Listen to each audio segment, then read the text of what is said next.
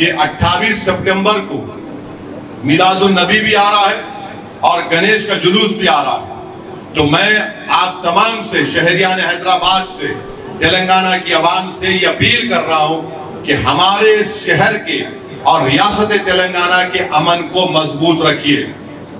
मिलाद का जुलूस होगा तो उसके ताल्लुक से अगर कोई निकालना चाह रहा है, निकालेंगे ज़रूर। तो आप एक टाइम अब मीटिंग करेंगे, महमूद भाई। उसमें तय करेंगे। बहरहाल कोशिश ये होना कि अमन से उस दिन गुजर जाए। अगर अमन बिगड़ेगा तो सबसे ज़्यादा नुकसान है गरीब को होता, चाहे उसका मज़हब कुछ भी हो। क्योंकि जो डेली वेज है, जो रोज जाकर मेहनत करे तो अपना उनके घर में चिराग जलता गरीबी है हमारे शहर का अमन बहुत ज़रूरी है। तेलंगाना का अमन ज़रूरी है।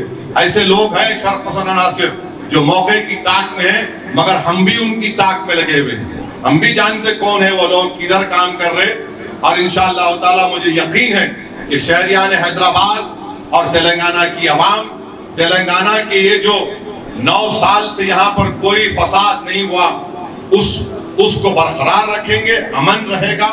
और हर हमारे हिंदू भाई अपना त्योहार अमन से मनाएँगे।